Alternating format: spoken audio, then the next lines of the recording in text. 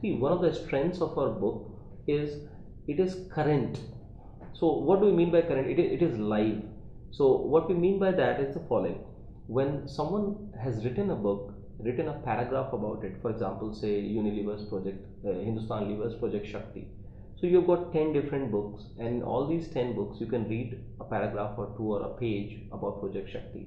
This is something what I'm referring to as dead. It's, it's there, it's there for, for good. You know, you can come and refer to any time in our book what we have done is in addition to that material we have uh, provided links to multimedia content outside that are far richer deeper and current than anything out there so for example in this case of project shakti not only you get to read the whole material that every other book provides you can also scan and immediately see an hour long or half an hour long video of that that presents what is going on today.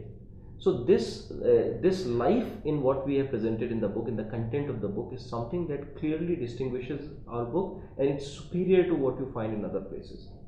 Uh, about besides this now when you take a particular lesson you have seen the video you have seen uh, you have received information which is much more in depth about an issue then we further go ahead and through these links and through the toolkit we show how you can apply that now, let me take a specific example. So, you're talking about customer lifetime value.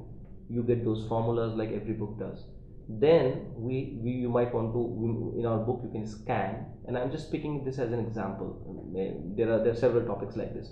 Then there's a background note that you can then go and read much more in depth about how these are derived, what they mean, what they technically mean, what is the current state of research, and all those things.